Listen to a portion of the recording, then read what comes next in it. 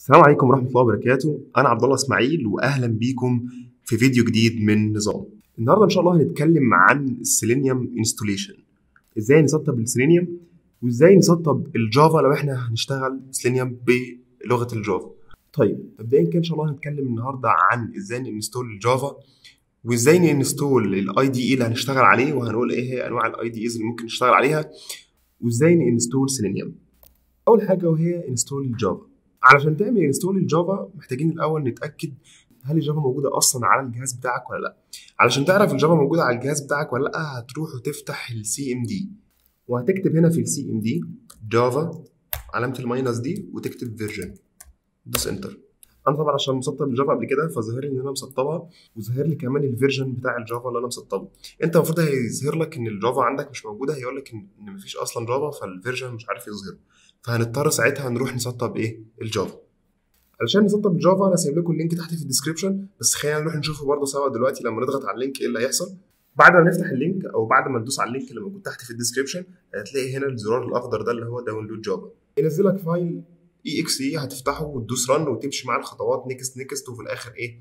تتأكد إنك أنت حملت ال Java. إزاي تتأكد إن أنت حملت ال Java؟ هنروح برضه تاني على ال CMD اللي هو Java علامة ال minus version وندوس enter وهتلاقي فعلا ال version بتاع ال Java ظهرت فهتعرف بكده إن أنت إيه سطبت ال Java وعملت لها install طيب نخش على الخطوة اللي بعد كده وهي install ال IDE ال IDE اللي أنت هتكتب فيه الكود اللي أنت هت run منه الكود بتاعك اللي أنت هتسطب أصلا عليه السيلينيوم. طبعا إحنا عندنا كذا IDE عندنا Eclipse وعندنا الاباتشي وعندنا ال IntelliJ أنا بصراحة بفضل ال IntelliJ أنا اشتغلت عليه وريحني فأنا بفضله فده اللي هنعمله download النهارده مع بعض يعني.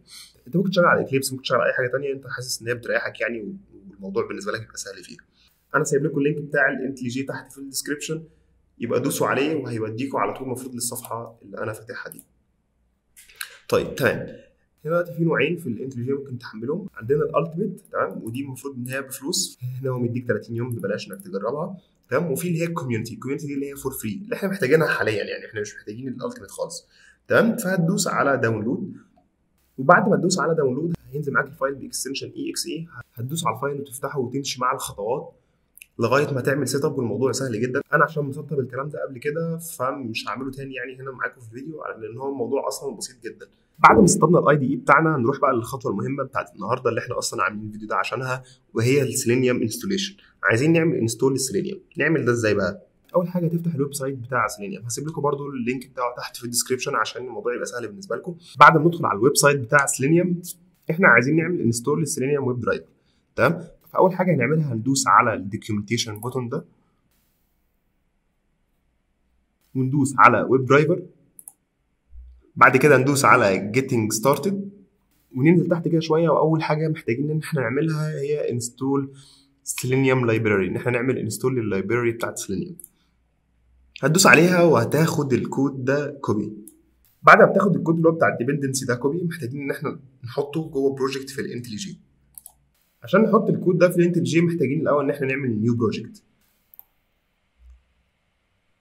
ال project بتاعنا لازم يكون Maven ولازم تكون اللغة اللي إحنا مختارينها تكون ال Java تختار ال location بقى أيا يعني كانت عايز تحطه فين وتسمي ال project أنا مثلا هسميه نظام. وتدوس على create بعد ما عملنا create new project واستنيناه يحمل إحنا محتاجين دلوقتي ال file اللي هو اسمه POM XML إحنا محتاجين ال file ده دلوقتي. هنفتح ال file ده كده أهو ندوس عليه كبستين. تمام؟ هتلاقيه فاتح هنا معانا ده كده يأكد لنا إن هو فتح. هنفتح هنا tag وهنسميه dependencies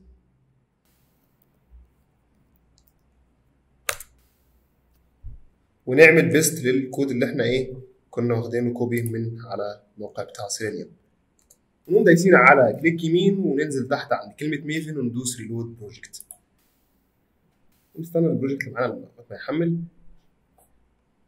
وندخل على ال external libraries تحت بتاعتنا هنا على الشمال دي وننزل تحت لغاية ما نلاقي السيلينيوم بتاعنا اتسطب. كده خلاص السيلينيوم اتسطب. وبكده نكون سطبنا السيلينيوم إن شاء الله يكون الفيديو عجبكم واستفدتوا منه. حاولوا تجربوا واللي يقف معاه سؤال يكتبه تحت في ال comment ات أو يبعت لي على ال profile بتاعي على LinkedIn